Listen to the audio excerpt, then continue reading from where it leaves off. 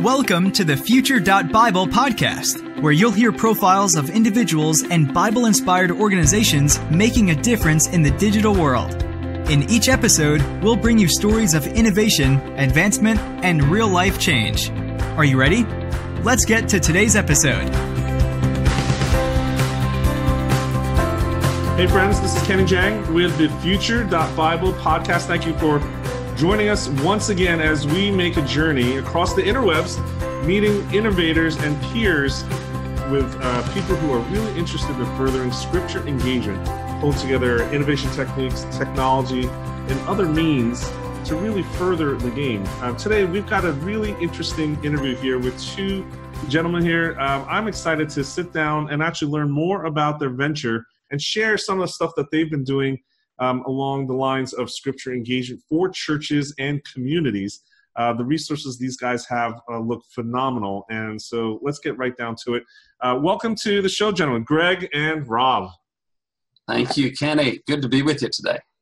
Great to be here. So um, you guys are with a venture called um, Harmony.Bible. And I've actually, I just want to call out the fact this is one of our favorites that you're using a new GTLD.Bible um, so kudos to you. You're one of our favorites. um, so Harmony.Bible, why don't you, um, before we get to the actual venture and what you are doing in terms of resources, tell us a little bit about your backgrounds and um, who you are. So maybe Rob, if you can start, just let us know um, just a little background of what your experience is and how you got to Harmony. Well, I got to Harmony by seeing some materials that Greg had put together uh, in some of his work on um, spiritual gifts and how to enable those within the life of the church because there's a glass ceiling that usually takes place with with uh, asking the question. And people have been through like four five six seven different questionnaires on spiritual gifts and how do you how do you make that work? And that's that's a very difficult place for people. So i was looking for materials and helps and i saw some of the stuff and i emailed him out. Um, and then we we we got started that way. Um, I actually got started with something that got absorbed by American Bible Society uh, many years ago called Houses of Worship out of Pittsburgh. And they were doing some work on how to uh, engage small churches. And so they asked me to do some, like uh, every two weeks, a, uh, a little blurb on, on my experiences with the church. And I've been involved with um, small parishes for a long time in my ministry. I've been doing that for 30 years or so and uh, now I'm doing interim ministries, trying to help uh, churches get from one pastor, uh, the end of one pastorate to the next with a sense of expectation. And so that's been putting a lot of my own spiritual gifts and talents and, and things, skills and love experience into that. And one of the things that I've seen the need for, of course, is the development of leadership for small groups. And so as, as, uh, as Greg and I were talking about things in the beginning, uh, this led very naturally into our discussion about that. And so I was really excited about moving into helping other people just listen in on some of the experience that we've got and how that can be helpful to them as they develop their groups. So good, so good, Rob. What about you, Greg? How did you come to this idea and venture and tell us the genesis of it? Yeah, well, um, if I turn back the clock a long way, I was in marketing and I left marketing out of the Silicon Valley uh, technology world back in the 80s. So, I mean, this is early stuff, right? um, we were still building computers, laptops. And that's, I, that's pre pre iPhone, right? It's like, oh yeah, who remembers we, we, those days? That's right. It was um, it was something else, and I left that to go into ministry. Um, when I stepped into ministry, I found my love. I just really enjoyed, uh, particularly, I focused with youth students, uh, and with that, you get involved with young adults and adults of all ages that are also working with the students. And um, so, as I jumped into that, I was actually doing a little bit of transition work for a church that had really had a lot of churn. And from there, I stepped into a ministry with Young Life um, as I was in Young Life, uh, we're trying to communicate the gospel to people who aren't engaged in churches, right? And who aren't even there, uh, who are disinterested, whatever their story might be, right? But we're in their world and we're trying to communicate the gospel out. And in Young Life's way, we communicate the gospel through stories and trying to get right again focused in the gospel and yeah. then you know communicate the rest of the gospel story of Old and New Testament and relevant to today. So that brought me into the harmony of the gospels years ago trying to help disciple students into that. That helped me meet years later uh, some folks from Sonlife. Sun Life is a ministry many may be familiar with. Yeah. And um, and so we kind of crossed paths back and forth over the years. I kept doing what I was doing, uh, both and migrated from youth ministry over into adult ministry, discipleship ministry within churches, small group ministry, launching many, many, and then working ecumenically, really across different denominational lines.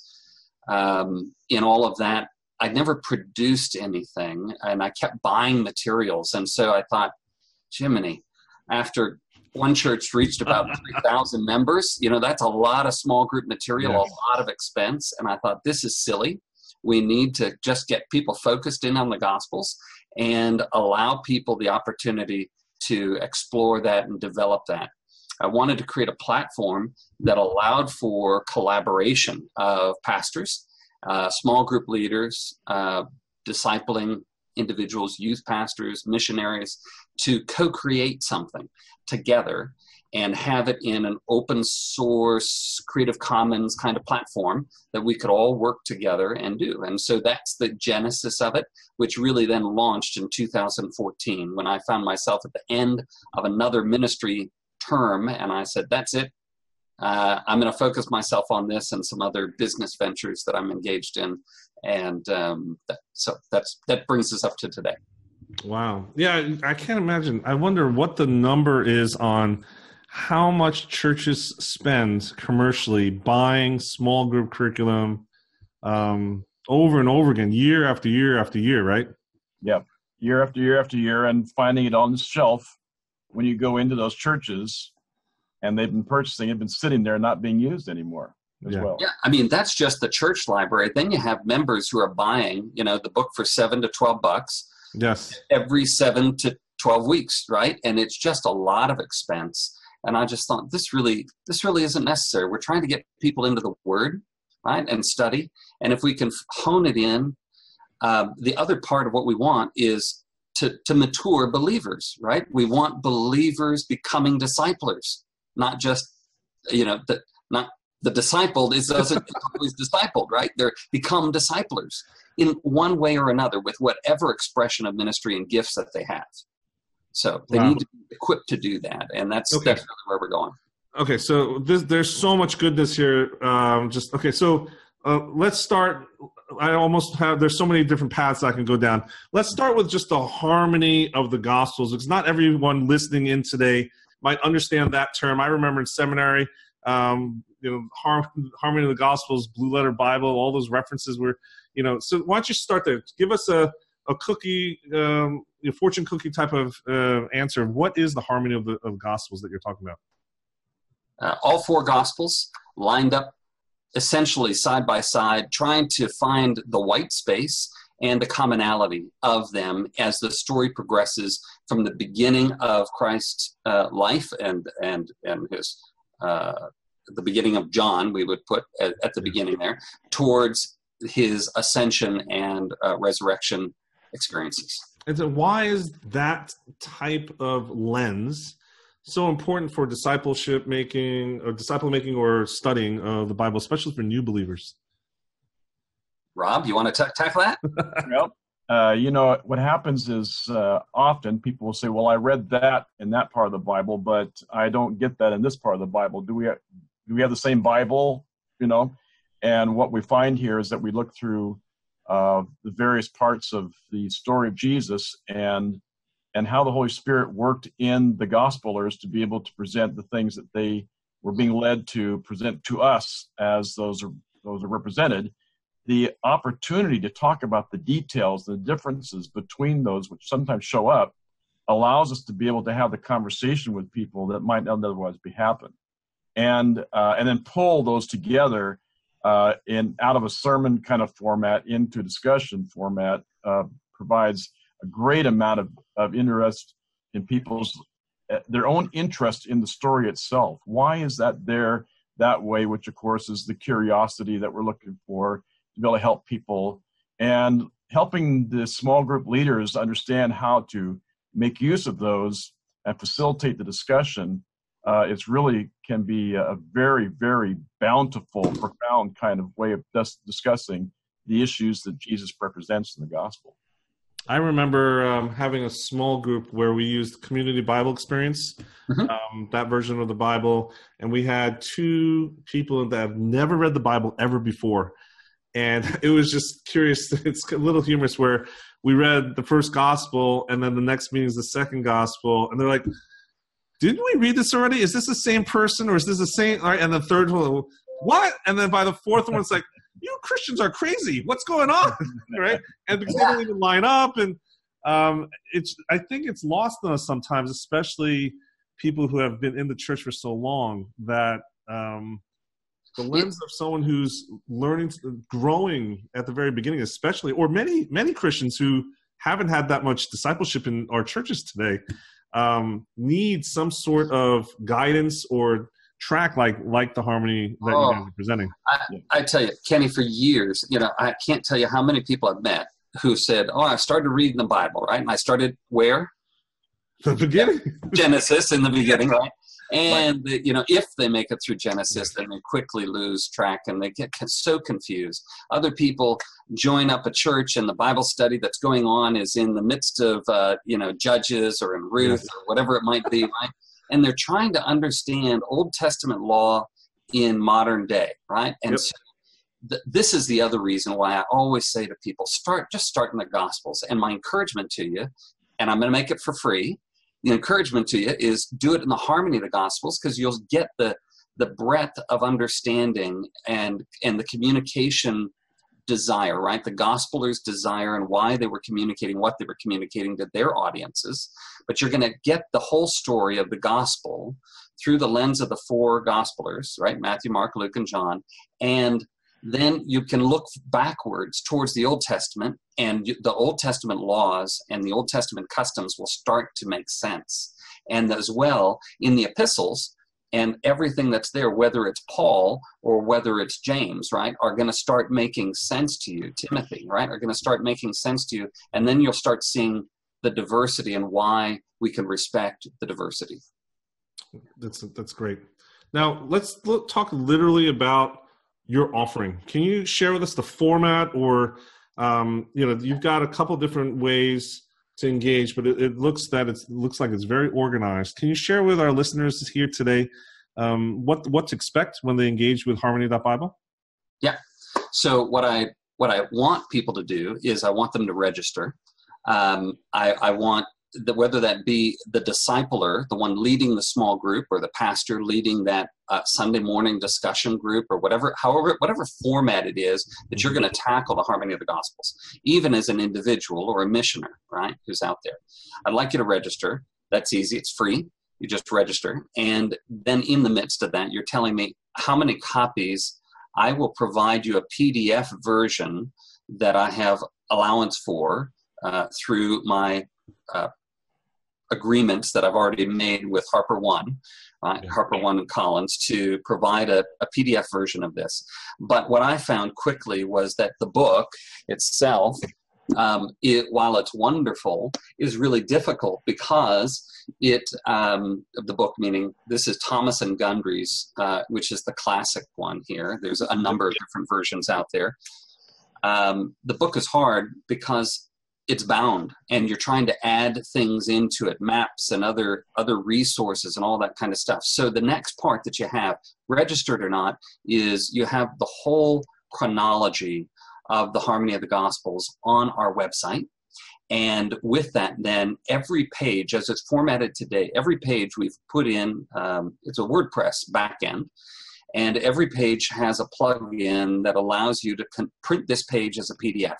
So you really don't even have to do it that way. You can do it through the website and just print a certain passage segment that you're looking for. Then we want you to begin right from the very beginning of the Gospels and just go to um, go to phase one, section one, and begin. And what we do is through the weekly study, we have a recommended outline of how how many sections you should be reading studying that week because some weeks are really intense yes. some weeks are some weeks are short right and uh, based out of small group experience we know about the dialogue time that it's going to take to process the content that's in there. And we want it to be a meaningful experience for the small group leader and their and their members. Yeah. It takes about uh, there's I think there's five or six phases, right? And the the first phase I think takes about 14 or 15 weeks. That's right. Yeah. So it's it, it the whole thing altogether. We we broke phase 5 into four parts. Um, part of that um, is strategic in the element that there is a progression as we see through the harmony of the gospels. Yeah. the other part is technologically i'll just confess there was the other part of that which was wordpress couldn't handle the volume of scripture that's in phase five. So we, we we broke the wordpress system as we were designing the html and um, and that was that um, it, it kind of culminated in the in the the two things coming together and really working well. The whole. But it's really. I mean, it's all laid out nicely visually, columns, notes. I mean, it literally is a easy to read index that anybody, any church leader can go in and within the first session of going to this uh, to the site, you can actually start to print something out and get going. Right? It's just yeah. meant to. Yeah. Well, here's the other thing, Kenny, is any any registered person, right? And as a WordPress platform, any registered person can then make comments. And what we want to do is we want to see our, our next growth stage here is that we really want to see comments and people becoming commentators. Uh, we, we, yes, you can take five years and produce a new printed version of the Harmony of the Gospels, and we could do that. Uh, but the, I think it's much more important to have a living, active commentary going on by people who are studying and engaged Absolutely. today. Absolutely. Yeah. Great. Um, and tell us a little bit about Harmony Radio. What's going on there? Okay. right now, we're on a little bit of a, of a respite. We're, we're taking a break due to some of my other business engagements. And uh, that, that put us on a little hold. We've got the last segment of uh, Phase 5D to go through. And then will continue on. Harmony Bible Radio was designed to train the trainers, not designed to focus in on the study itself. I wanted kind of a, what was that old um, Haddon Robinson radio Bible class, right? Yes. That's really what I wanted was an experience of three to five people online chatting through each segment and um, and carrying on. Um, as it's turned out, Rob has been the faithful partner through this portion. And I think one of the next stages we're going to go through is this kind of quick 15 minute podcast, and we'll develop those as in the next stage of things. Pretty cool. Pretty cool. So, um, you know, you've got a bunch of different resources. You're actually inviting other ministry leaders to participate. Um, can you share i guess what is the ideal type of person in terms of ministry? Does, is it just the pastor? Is it a small group leader an elder? Who who is that person that you who's the sweet spot of the person that you want to draw in in terms of participation? Rob you want to tackle that? Sweet spot probably is that uh, the small group leader who's been recognized and involved in the life of a, of a community um, whatever that community might be. But we we um, we tend to to tackle each of these uh, discussions of ours um, with taking the the very a person who is uh, just brand new to the whole concept of wanting to do lead a Bible study altogether, mm. and and that's and so that can be a little bit limiting in the sense of how we jump right in, but it allows us also to kind of get warmed up to the situation and the issue as well. But by the time we're 15 minutes in, we're talking about fairly deep uh, issues and, and matters that can be raised within the, the group. We'll take some time uh, as the questions formulate in our minds as we go through our discussion about uh, what would be helpful for the small group leader at this moment in the discussion about this particular thing. from our ba- from our background, from our experience, and uh, so that so we're we're adding in the kinds of things that would be leadership development stuff as we're talking, but then we're talking about the um, the scripture itself. Of course, that's kind of the the heart of the whole thing. So it's possible for a person who has no small group whatsoever to, to just listen in and get a feel for what's happening. Uh, pastors could be involved with this because, um, from my perspective and, and much of Greg's perspective as well, we're going to be putting material in there that they can be used for next Sunday's sermon, uh, you know, as well. Uh, it just takes a little while to wade through that, you know, to be able to, to get into it. But I would see where uh, the interaction could happen with a person who really wants to get a small group going within a community, and then they can access both Greg and I, or else whoever else is we're we're in, uh, in fellowship here with, um, to associated with, to be able to help uh, that group grow and have a plan of action and help that pastor who might also want to be. I don't see um, the sweet spot like you mentioned. I I want to see the sweet spot as being a person who is doing this kind of work with a small group, fully in uh, conjunction with their pastor. In that, it could be a pastor himself who's doing this work, but we don't want to see this being as, as small groups that are being uh, engendered off of a, a, fellowship and accountability kind of situation as well. So that that's a sweet spot for me. Now, for the actual person who's potentially you know ready to engage and look at this as a, a source of curriculum to to lead their study.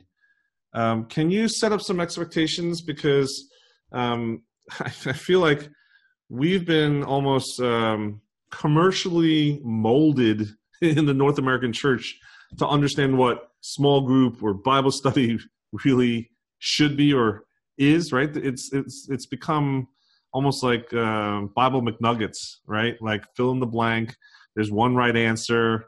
Everyone goes around. You, you, everyone stays silent until the person who right chimes in. Right, there, right. There.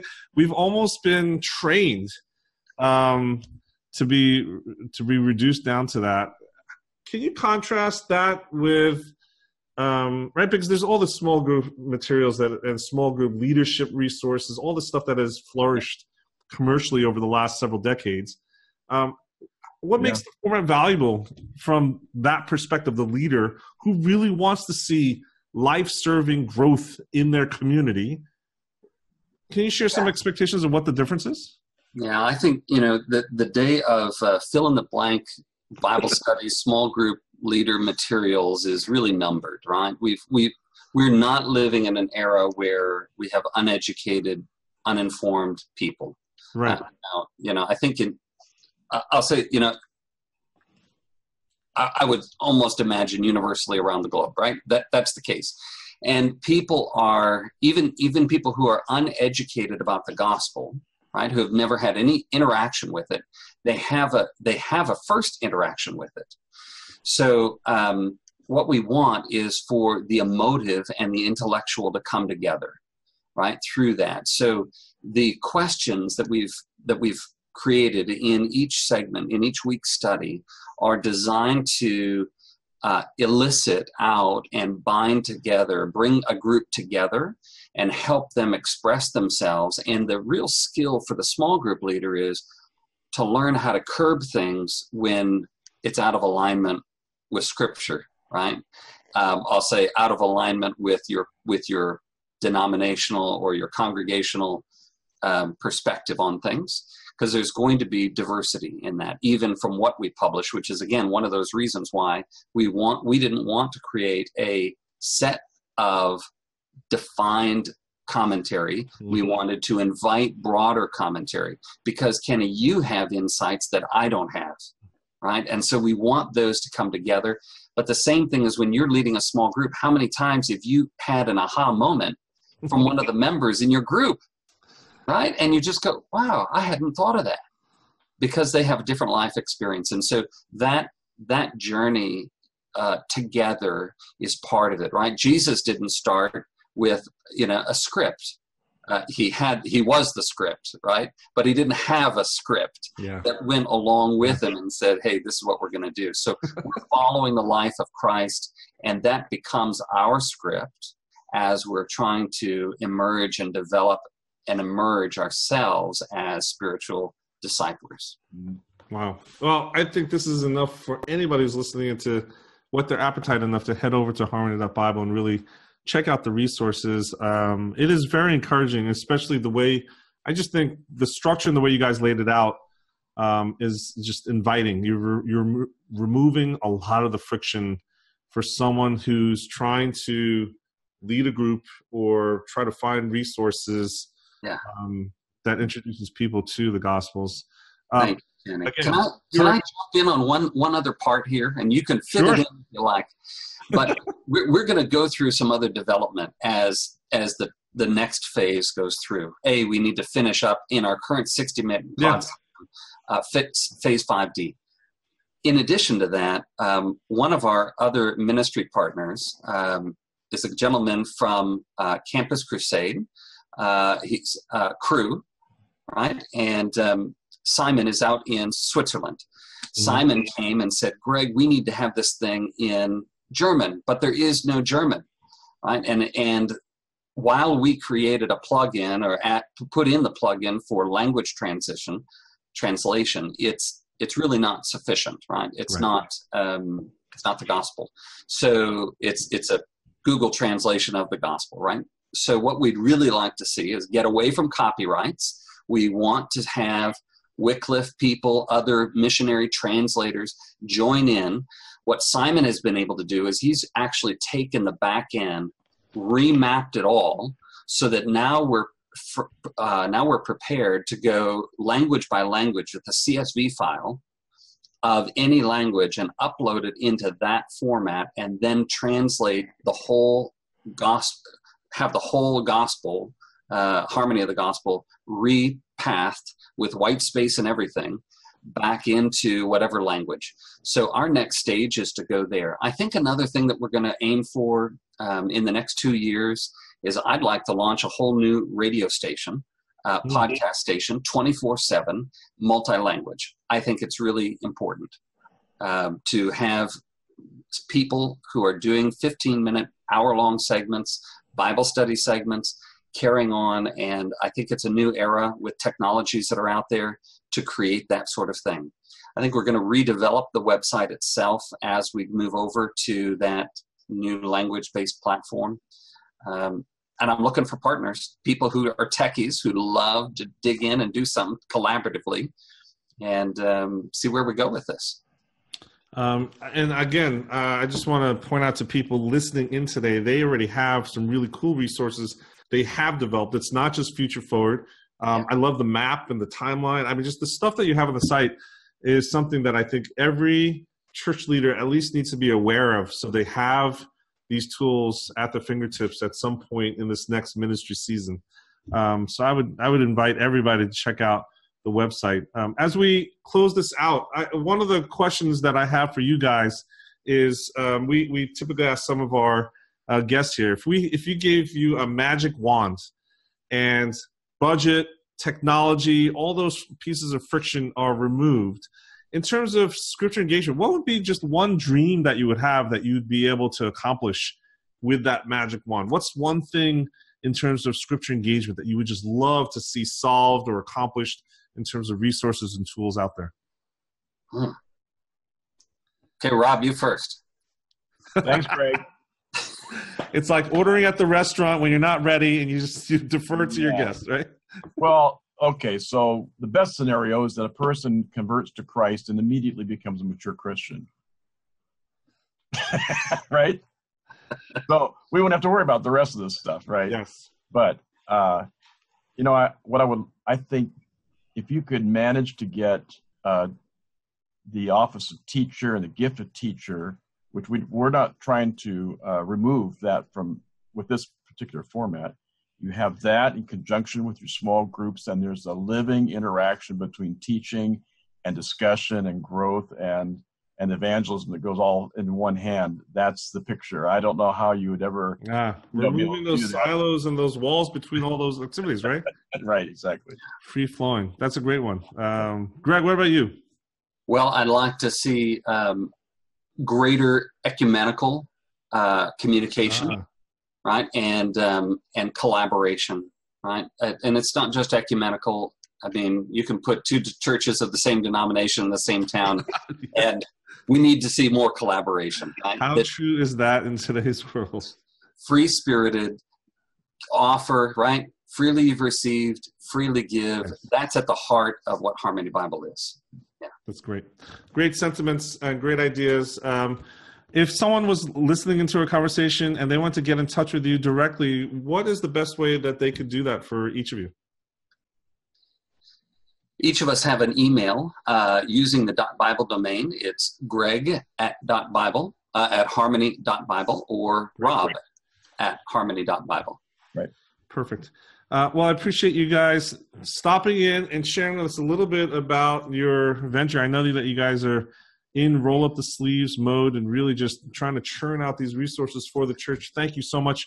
The the project that you've uh, accomplished so far is a gift to the kingdom we're really looking forward to seeing all the developments as they go along. And if you, if it'd be okay, we'd love to revisit with you periodically to see what other types of resources that you guys unveil periodically.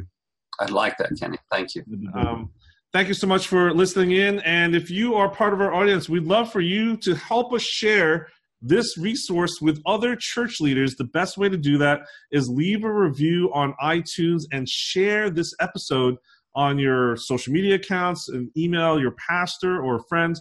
Let's spread the word about harmony.bible and the work that these guys are doing to push our, our congregations and our whole church forward. Um, and we really appreciate you listening in today. We'd love for your feedback, comments on this particular episode, as well as ideas and introductions to guests for future ones. Um, I'm Kenny Jahng for Future.Bible. Next week, we're going to have DJ Chuang uh, join us back in the co host seat. But uh, till then, we really hope that you have an engaging time with the scriptures. And remember, that starts with you. Thanks for joining us, and we'll catch you here next week on Future.Bible. Thank you for joining us today. If you enjoyed today's session, please help us share this podcast with your friends, colleagues, and family members. You can do that by leaving a review on iTunes or by sharing our website, www.future.bible, with your network. Don't forget to join us next week for the next episode of the Future.Bible podcast.